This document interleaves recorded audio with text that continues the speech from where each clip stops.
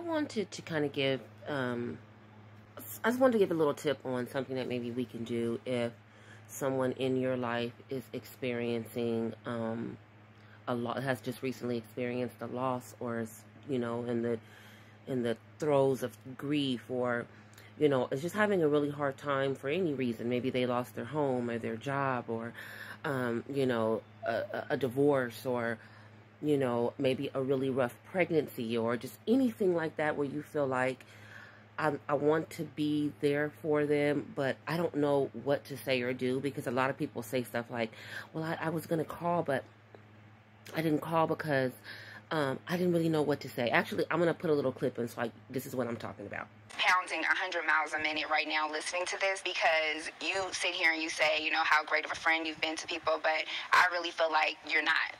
Okay. And the reason why is because when my daughter passed away, you didn't even send a one flower. You didn't. You've been in LA. You didn't knock on my door to give me a hug or just to sit next to me quietly. You showed absolutely no support. First of all, I didn't know what to say, and I'm so Most sorry. people don't. Like that. In the event that there is something that you know that you should be doing more for your loved one, but you don't know what to do, you don't know how to start the conversation, you don't know what to say, you don't know what to ask, you don't want to um, you know, add to their stress or add to their whatever it is they're going through and you think by like, I don't want to call and bother them. They're going through a rough time. That is not the thing to do.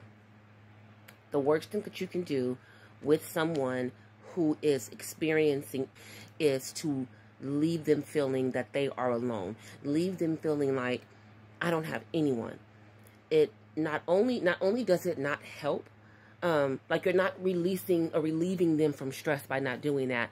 You are making them feel isolated. You're making them feel more hurt, and it can almost um, compound the grief or the whatever by feeling like not only did this thing just happen, but I don't have anyone to turn to. So I want to offer you some solutions or things you can do if you just feel like I don't know what to say and I don't know what to do. So here are some things you can say and or do, or both. I have a lot going on, but I just wanted to bring dinner for you guys, so at least you don't have to worry about, you know, what you guys are going to eat for dinner. And there should be enough to have leftovers. It's not much, but I hope this takes a little bit of a burden off of you. We're here to pick up the kids. I'm going to take them off your hands for a little while. We're going to go to the park, and, and so you have a couple of hours to yourself.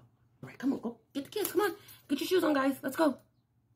Um, I came over here. I know, I know. I, I didn't want to call them because I didn't want you to tell me you didn't need anything. I'm over here to pick the kids up because I'm going to take them for the weekend so you guys have time to time for yourself to grieve, do whatever you need to do. You don't have to at least worry about the kids. Okay, I'm going to take them off your hands for a few days. Come on, guys. Let's. Nope, nope. I don't want to hear no. Get your shoes on. You guys get ready. Let's go. Uh huh. Grab your bag. Let's go.